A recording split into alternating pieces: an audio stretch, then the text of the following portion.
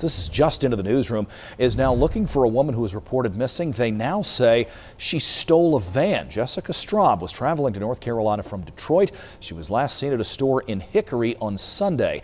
The Stokes County Sheriff's Office says they believe she took a van from the Jomeokee campground in Pinnacle. Sheriff's Office says she will be charged with that crime.